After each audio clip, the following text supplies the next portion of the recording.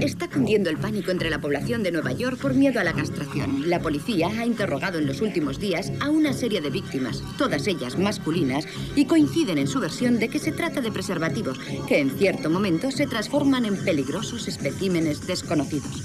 Ralph Canish, autor del Hombre Deseado, presenta ahora su comedia más divertida.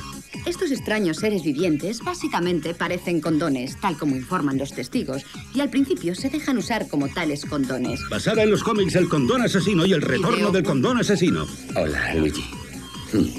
Hola, Sam. ¿Qué tal? ¿Te hace falta algo? Un huevo. Ese bicho se me zampó el huevo derecho. Trece pililas, Sam. Mientras yo estaba en el hospital, 13 tipos han visto cómo se quedaban sin sus vergas en ese hotel. ¿Quieres decirme qué explicación le das a eso?